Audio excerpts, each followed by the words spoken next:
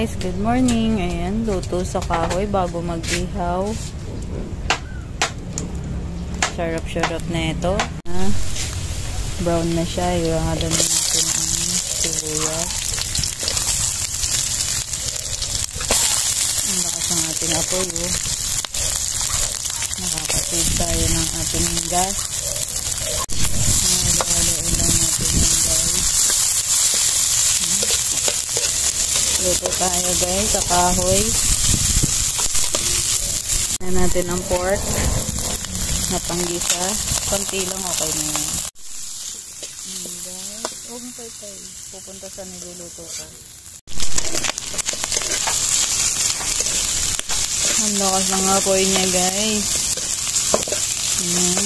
Napaito na yung ating pork. Susunod na natin ang kamatis sunod sa pork. Ganyan kalakas ang apoy para maluto agad yan.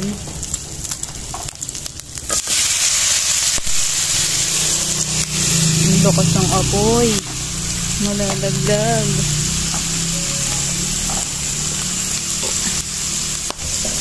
Hmm, tipid tips guys.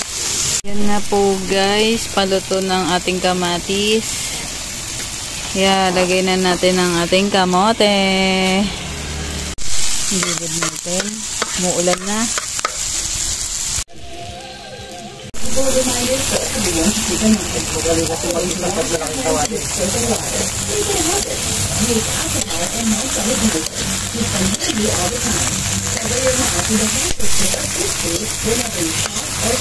Kalate lang.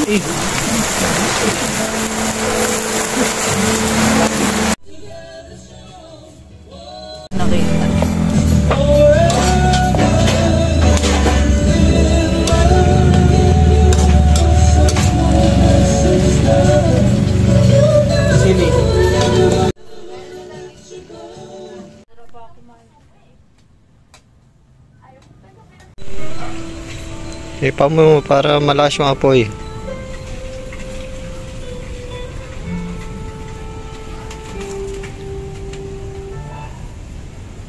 Shop every payday sa Lazada Sulit Sweldo Sale.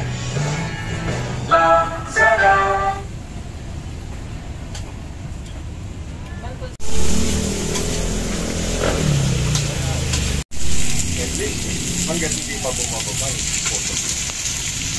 Yung sa 215 million project. Kaya ikaw naman, sana Hello guys, good evening. Ihaw tayo ng tilapia.